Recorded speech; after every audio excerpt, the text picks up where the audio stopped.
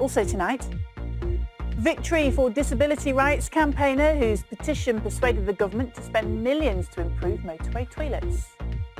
I am delighted with the news this week. I am amazed.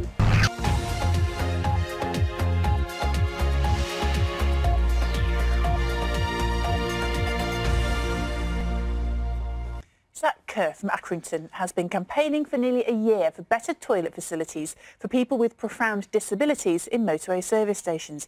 He says he has to lie on dirty floors to be changed. But today, Zack is celebrating. The government has announced a £2 million grant to pay for new facilities at around half the service stations in the country. Jill Dummigan has been to meet him. Zack Kerr's a man who's going places, and this announcement means that's about to get much easier. I am delighted with the news this week. I am amazed. A massive thank you to everyone. The response has been incredible, and I could never have hoped for such amazing support from friends and so many strangers that have now become friends. It's nearly a year since Zack began his campaign to get better changing facilities in motorway service stations. His disabilities mean he has to be changed, and that often means having to lie on a dirty and wet toilet floor. Not only is this degrading, it's physically difficult.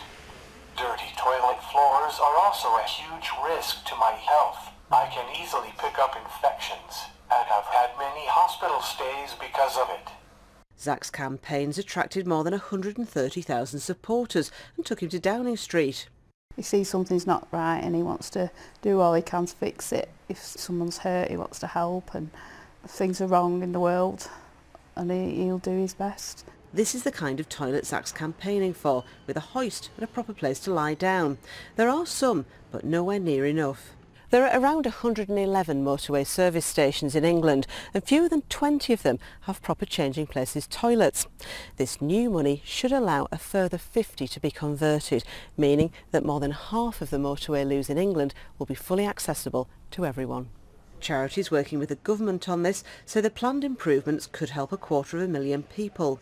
It would be a huge difference. I mean, it just opens up the whole of the motorway network for families that are travelling and means that you don't need to worry, you don't need to meticulously plan where the next motorway service with a toilet that meets your needs will be. Zack says his next campaign's for better facilities in supermarkets and hospitals. Watch this space. Jill Dummigan, BBC Northwest Tonight, Accrington.